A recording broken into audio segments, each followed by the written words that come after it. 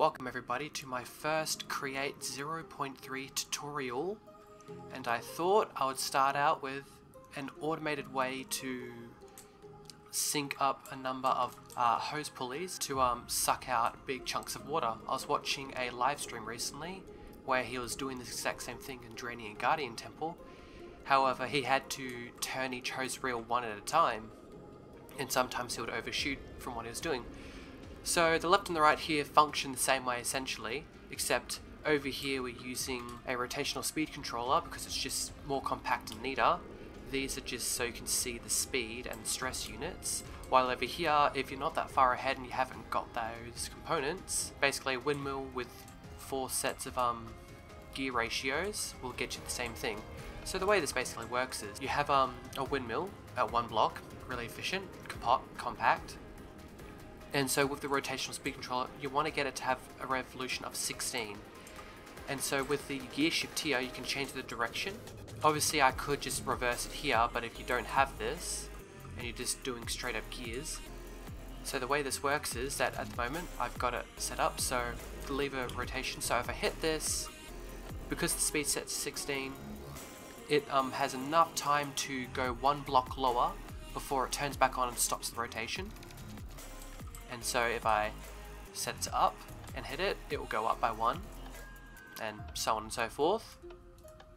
So we'll put that down there because we want to drain. I've got the arrows for the pump set here, so using wrench you could just switch those around. And so back here, you can't unfortunately link this to here since the stress is way too high since this one windmill rotating at 16 is uh, maxing out on stress capacity. So if we set this to down and lower it so it's all the way to the bottom, since the way I imagine you using this is that this would be like into the ocean, so it'd be an infinite water source, and this would be your guardian area that you're sucking out water from. And as you can see here, it's just going to keep pumping the water out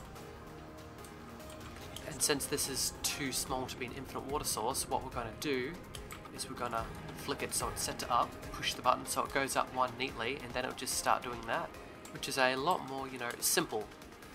And so I've got two ways to show it here. You could use encased chain drives, as they don't have any stress requirements.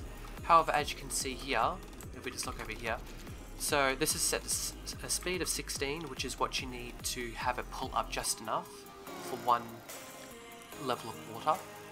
And then here we've got the stress impact, which is low. It's pretty much um, not visible using a windmill.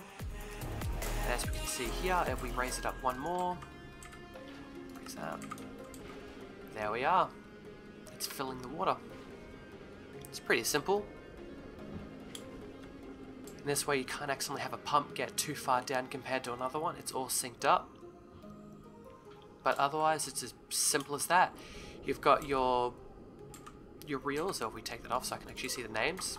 Yep, so if you've got your hose pulleys with your pumps in between set to whatever way you want to pull the water through. You've got your mechanical belts on the shafts that so they all rotate the same direction. You've got your clutch with just a simple vanilla vanilla uh, redstone signal inverter connected to a um, gear shift. So with the redstone signal on and off, it changes which direction the uh, rotation's in. And then in this example here, we've just got a speed controller. Basically, just so we can um, ratio up this because this rotates at 1 RPM and we need 16. And if you're not that far ahead, just over here, you've got four sets. So from 1 to 2, 2 to 4, 4 to 8, and then 8 to 16. Same principle. The only thing I'd change if I was building this on an actual large scale would be to um, have enough windmills back here that I could actually have these running at 256 so then it just pumps at max speed.